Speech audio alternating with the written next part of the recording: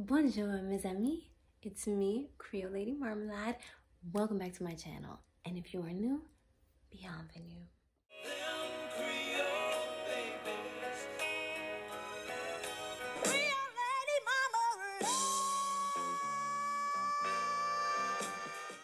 So, for today's video, I just wanted to give you guys a quick glimpse into my French learning journey. So, as I said in previous videos, I want to start learning French for 2024. So I wanted to start my journey showing you guys where I'm starting from. You know, giving you an example of what my abilities are right now, and then I'll check in periodically to show my growth throughout the process.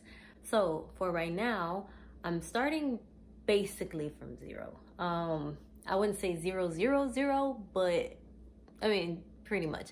So, like I've said in other videos, I'm a Louisiana Creole. I come from a family who did speak French once upon a time. Most of my great grandparents, who are mainly Creole or Cajun, they spoke French back in their day. But as we all know, the history of Louisiana, French was outlawed. People were discouraged from using it. Um, most of our, most Creoles and Cajuns from Louisiana all have the same story. Our grandparents or great grandparents spoke it and they weren't able to or didn't pass it down to the rest of us. So I am one of those Louisiana Creoles who wants to learn French to get in touch with my heritage because that is the language of my people. Uh, Louisiana French and Kouri-Vini. I will be learning French though, but I will be incorporating some Kouri-Vini vocabulary and I'm learning French just because I want to be able to speak to everyone in the Francophone world. Not enough people speak Kouri-Vini. Um, so I do eventually want to learn Kouri-Vini next uh, but you know, if I get around to it, that's the goal. But you know, you know how humans are. So my journey thus far with French, uh, it started basically in college. Um, I was a Spanish major. I went to University of New Orleans for Spanish. And while I was there, I took two French classes, French one and French two. I took German while I was there too. I think I took two German classes, one or two. But I also took French one and French two. I was planning on making French my major, but I ended up leaving school my junior year, so I didn't get around to finishing, but that would have eventually become my major. But so when I was there, I was taking a whole lot of online classes, um, and I just kind of, my head wasn't in it at that time, and I didn't really learn much French. I just did whatever to pass the class. You know, the same old story, like when you take languages in high school and college, like you just do what you have to do to pass, and especially with the classes being online, you know, I could just cheat basically while I'm taking the test. So I returned basically zero from college. Um, so fast forward, my next exposure to French was when my daughter, my younger daughter who's nine now, she went to a French immersion school uh, for pre-K through first grade. So both my daughters actually went to this school, but my older one, she started going to the school in second grade, so she was too old to get into the French immersion. You have to get in by kindergarten, but you pretty much by pre-K, really. Uh, they prefer to take them at pre-K. So my older daughter got into that school in second grade, so she was in the Montessori program. My younger one, from pre-K through first grade, was in the French immersion program. Uh, the reason why she left in first grade is because we ended up moving. But be that as it may, so while she was, you know, so little uh, in French school, I was exposed to a lot of French through her. And then COVID hit when she was in kindergarten. So then she had to do virtual learning. So that's where I had to step in and facilitate and help. You know, she was too little to do the computer stuff by herself. So I that's the most exposure I'd ever gotten to French was through my daughter going to a French immersion school. So that's why I say I'm not necessarily starting from zero. Um, it's just I can't hold a conversation in French or anything like that. But I learned the things that a kindergartner would learn. My numbers, colors, days of the week. I, can I know my numbers up to like 100 uh, days of the week, you know, basic, extremely basic phrases and words. Um, you know, just very, very, very basic stuff that a little kid would be learning is what I learned with my daughter when she was in school. So, um, yeah. So that's it. That's that's my history with the language. Um, my motivation for learning it, like I said, is because I am Creole. Being Creole and not being able to speak French or Kouri-Vini is like being Puerto Rican and not being able to speak Spanish. Like it's, it doesn't make sense. But um, yeah, so let me give you guys an example of I don't I don't even know what to say because I can't say much.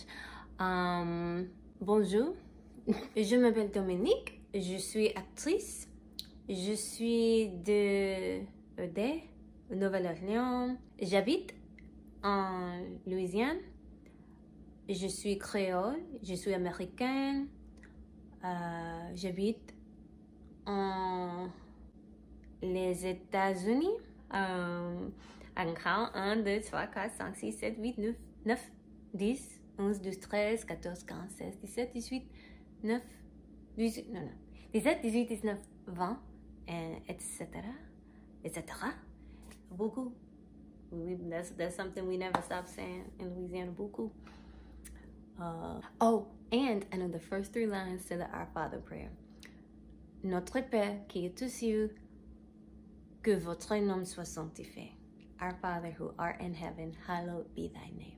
Oh, and there's this other thing I used to say all the time as a kid. I was saying it all wrong. Je suis la jeune fille.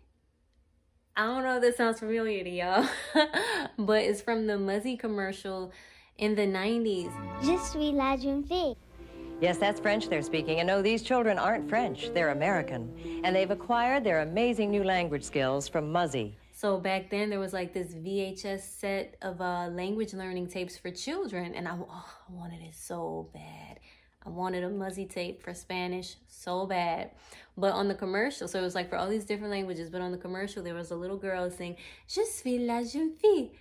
And which is, I'm, I'm a little girl or I'm the little girl, something like that or I'm the young girl, something of the sort.